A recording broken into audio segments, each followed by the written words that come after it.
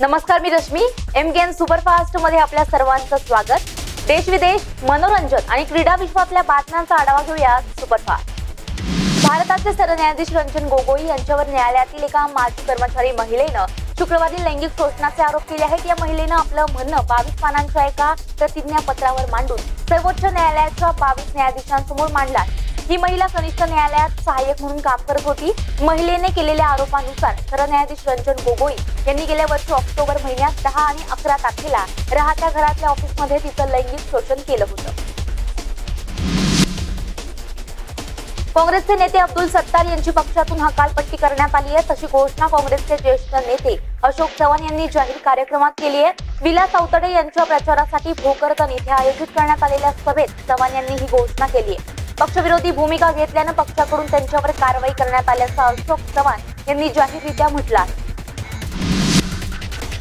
लक्षात ठेवा जितकं तुमचं वय आहे तितका दांडगा पवार साहेबांचा राजकारणातील अनुभव आहे. असं म्हणत बारामती लोकसभा मतदारसंघाच्या उमेदवार सुप्रिया सुळे यांनी भाजप अध्यक्ष अमित शहांवर निशाणा साधला. धनकवडी येथील प्रचार सभेत त्या बोलत होत्या पवार साहेबांनी पन्नास वर्षात काय केले? असा सवाल अमित शहा यांनी केला होता. यावर सुळे यांनी हे सडेतोड उत्तर दिलं आहे. उत्तराखंडचे माजी मुख्यमंत्री दिवंगत नारायण दत्त तिवारी यांचे पुत्र रोहित शेखर तिवारी यांचा गळा दाबल्यानं किंवा उशीने तोंड दाबल्यानं गुदमरून मृत्यू झाल्याचं शवविच्छेदन अहवालातून उघड झालं आहे. या प्रकरणी पोलिसांनी हत्येचा गुन्हा दाखल करत तपास गुन्हे अन्वेषण विभागाकडे सोपवला. या प्रकरणी पोलिसांनी आता रोहित शेखर यांच्या कुटुंबियांची चौकशी करण्याचा निर्णय घेतलाय. रोहित शेखर हे दिल्लीतील डिफेन्स कॉलनीत राहत होते. रोहित शेखर तिवारी यांचा मंगळवारी संशयास्पद मृत्यू झालाय आणि या प्रकरणी दिल्ली पोलिसांनी तपासाला सुरुवात केली आहे. जम्मू काश्मीरमधील बारामुल्ला येथील सोपूर येथे सुरक्षा दल आणि दहशतवाद्यांमध्ये चकमक झाली आहे. या चकमकीत एका दहशतवाद्याला कंठस्नान घालण्यात यश आहे मृत्यू झालेला दहशतवादी हा जैश मोहम्मद. या दहशतवादी संघटनेसाठी काम करत होता. त्याच्याकडून पोलिसांनी शस्त्रसाठा देखील जप्त केला आहे. उत्तर काश्मीर मधील सोपोर येथे शुक्रवारी रात्री दहशतवाद्यांनी सैन्याच्या गस्ती पथकावर हल्ला केला होता. उत्तर प्रदेशातील कानपूर येथे भीषण रेल्वे अपघात झाला असून पूर्वा एक्सप्रेसचे बारा डबे रुळावरून घसरले. या अपघातात वीस प्रवासी जखमी झालेत. कानपूरमधील रुमा गावाजवळ पहाटे पूर्वा एक्सप्रेसचे बारा डबे रुळावरून घसरले. पूर्वा एक्सप्रेस हावडा येथून दिल्लीला जात होती. एक्सप्रेस कानपूर स्थानकात पोहोचण्यापूर्वी हा अपघात झालाय. बारा डब्यांमध्ये भोजनयान आणि पॉवर कारचा समावेश आहे. कपलिंग तुटल्यानं हा अपघात झाल्याचं म्हटलं जात आहे मुंबई एटीएसचे प्रमुख शहीद हेमंत करकरे यांच्याविषयी वादग्रस्त वक्तव्य करणाऱ्या साध्वी प्रज्ञासिंग ठाकूर यांनी अखेर आपले शब्द मागे घेतले आहेत. माझ्या वक्तव्यामुळे देशाच्या शत्रूंचा फायदा होत असल्याचं दिसत आहे. त्यामुळे मी माझे शब्द मागे घेत असून त्याबद्दल दिलगिरी व्यक्त करत आहे. मात्र ते माझं वैयक्तिक दुःख आहे असं साध्वी प्रज्ञा यांनी प्रसार माध्यमांशी बोलताना सांगितलं आर्थिक डबगाईमुळे बंद पडलेल्या जेट एअरवेजच्या कर्मचाऱ्यांना काही प्रमाणात दिलासा मिळाला आहे. जेटची प्रतिस्पर्धी असलेल्या स्पाइस जेटनं पाचशे कर्मचाऱ्यांना आपल्या सेवेत सामावून घेतलं आहे. यामध्ये जेटचे शंभर वैमानिक दोनशे केबिन क्रू कर्मचारी आणि दोनशे तांत्रिक कर्मचाऱ्यांचा समावेश आहे. कोण होणार बारामतीचा खासदार? या मुद्द्याची राज्यात सर्वाधिक चर्चा आहे. पवार बालेकिल्ला राखणार की बारामतीत इतिहास घडणार याची प्रचंड उत्सुकता आहे. बारामतीची जागा जिंकायचीच म्हणून भाजपचे उमेदवार सज्ज आहे. राष्ट्रवादीच्या बालेकिल्ल्यातली लढाई कधी नव्हे एवढी चुरशीची झाली आहे. सलग दोन टर्म खासदार राहिलेल्या राष्ट्रवादीच्या सुप्रिया सुळे आणि भाजपाच्या कांचन कुल यांच्यात थेट लढाई आहे. पंतप्रधान मोदी यांची सभा न झाल्यामुळे बारामती लोकसभा मतदारसंघात मैत्रीपूर्ण लढत असल्याची चर्चा सुरू झाली होती. मात्र ही नुरा कुस्ती नाही जिंकण्यासाठी या ठिकाणी लढत आहोत असं सांगत भाजपचे राष्ट्रीय अध्यक्ष अमित शहा यांनी चर्चेला पूर्णविराम दिला. केंद्रीय मंत्री शरद पवार हे गेली पन्नास वर्ष महाराष्ट्रात सत्तेवर आहेत. या काळात कोणती विकास कामे केली? याचा हिशोब त्यांनी द्यावा असं आवाहन त्यांनी बारामतीत दिलं आहे. लोकसभा निवडणुकीची आचारसंहिता लागू झाल्यापासून अकरा मार्च ते सतरा एप्रिल या कालावधीत शहर आणि उपनगरात भरारी पथकामार्फत सुमारे दोन कोटी रुपयांची रक्कम जप्त करण्यात आली आहे.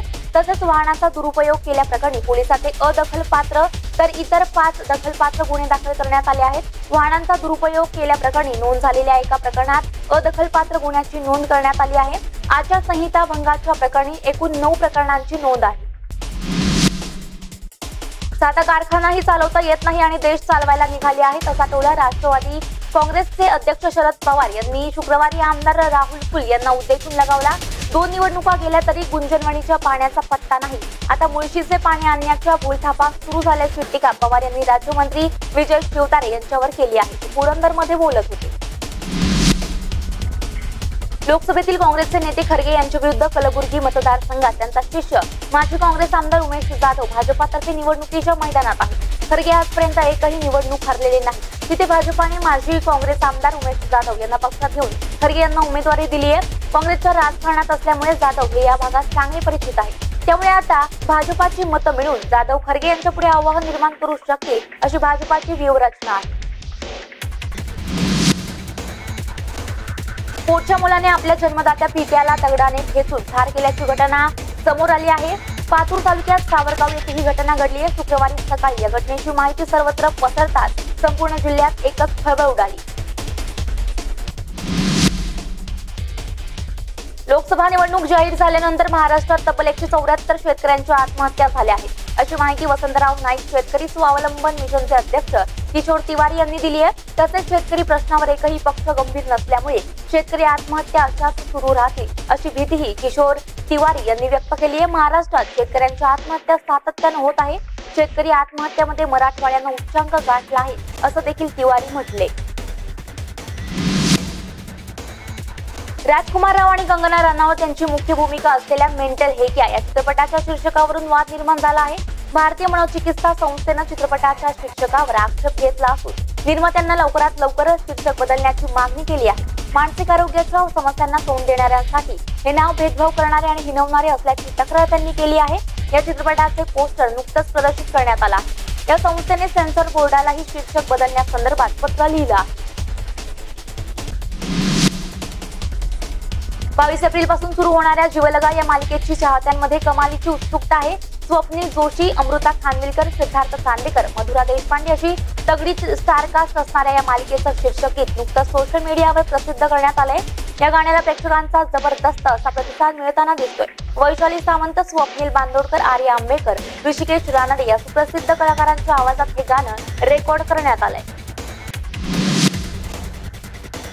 मुंबई टीमचा कॅप्टन रोहित शर्माच्या नावे एका नव्या रेकॉर्डची नोंद झाली आहे. टी ट्वेंटी क्रिकेटमध्ये आठ हजार रन पूर्ण करण्याची कामगिरी रोहित शर्मानं केली आहे. रोहित शर्मानं ही कामगिरी गुरुवारी दिल्ली विरुद्ध झालेल्या मॅचमध्ये केली. त्यामुळे आठ हजार रन पूर्ण करणारा रोहित हा जगातील आठवा आणि भारतातील तिसरा बॅट्समन ठरला आहे.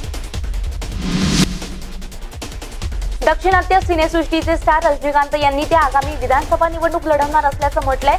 त्यामुळे त्यांच्या नावाचा वापर करून प्रचार न करण्याची विनंती रजनीकांत यांनी सर्व पक्षांना केली आहे. पत्रकार परिषदेत त्यांनी ही घोषणा केली आहे. शुक्रवारपासून दरबार सिनेमाच्या चित्रीकरणासाठी ते मुंबईत आले. मुंबईला रवाना होण्याआधी त्यांनी पत्रकार परिषद घेऊन याबद्दल सविस्तर माहिती दिली आहे. तुर्तास एमगीएन सुपरफास्टमध्ये वेळ झाली येतेच थांबण्याची ताज्या अपडेट्स आणि घडामोडींसाठी पाहत रहा फक्त एम के एन प्रतिबिंब वास्तवतेचं नमस्कार.